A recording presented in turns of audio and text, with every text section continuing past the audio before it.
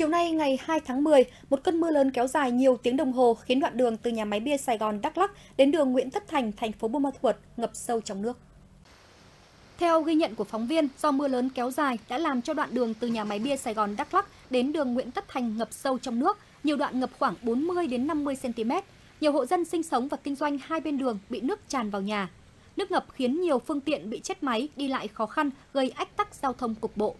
Những năm gần đây, mỗi khi mưa lớn, nhiều tuyến đường trên địa bàn thành phố Buôn Ma Thuột lại ngập sâu trong nước, ảnh hưởng đến lưu thông sinh hoạt của người dân.